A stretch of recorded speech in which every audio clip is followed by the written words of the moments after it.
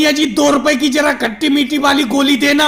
अखिलेश, तुम भी दो दो रुपए की चीज़ लेते हो। कम से कम मुझसे दस पंद्रह रुपए का सामान ले लिया करो, जिससे कि कम से कम मेरा शाम का खाना खर्चा चल जाए। आजकल राहुल कमा के नहीं ला रहा है। तो मैंने लकड़ी का ये रोड पर खोखा बनाकर इसमें किराना दुकान की दुकान रख ली है। सोनिया जी दुकान तो रख ली है तुमने लेकिन ये दुकान आपकी रोड पर आज के बाद नहीं रखी रहेगी। अरे मोदी जी क्या हो गया बताओ क्या बात है? सोनिया जी आप देख ही रही हो ये रोड भैसी पहले से पतला है और इस रोड पर तुमने लकड़ी का एक खोखा बनाकर उसमें किराना दुकान की दुकान रख ली है जिससे कि रोड पर जाम लगता है। इसीलिए तुम्हारे इस खोखे को हटाना पड़ेगा। ये बताओ मोदी जी, अगर आप मेरी इस दुकान को हटा दोगे तो मैं कहाँ पर दुकान रखूँगी? कहाँ पर मेरा खाना खर्चा चलेगा? क्योंकि इस दुकान से दिन भर में मैं जो सामान बेचती हूँ, उससे ही मेरा खाना खर्चा चलता है। सोनिया जी, इसमें मैं क्या कर सकता हूँ? ये तो ऊपर से ऑर्डर आया है।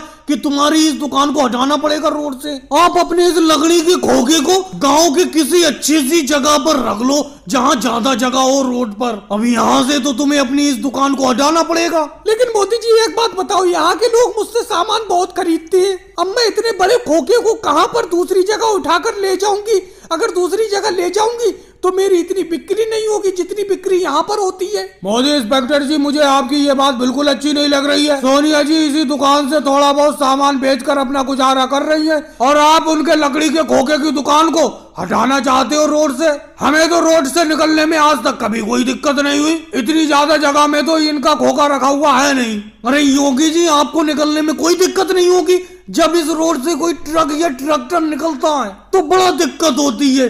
किसी दिन इनके खोखे में ही ट्रैक्टर लग जाएगा। इसीलिए मैं तो इनकी सेफ्टी के लिए कह रहा हूँ कि रोड पतला है इस रोड से इस किराना दुकान को हटा लो। वैसे सोनिया जी, एक राय दू मैं आपको? अपने गाँव में जो पीपल का पेड़ है वहाँ पर काफ़ी जगह है। वहीं पर अपने इस खोखा किराना स्टोर को रख लो। चलो इस लकड़ी के खोखे को हम उठवा कर वहाँ रखवा देंगे। अखिलेश, ये बात तुमने ठीक कही। चलो मोदी जी, मैं अपने इस खोखे को यहाँ से हटा लूँगी, दूसरी जगह रख लूँगी। और भाई लोगों को वीडियो को लाइक करो, चैनल को सब्सक्राइब करो।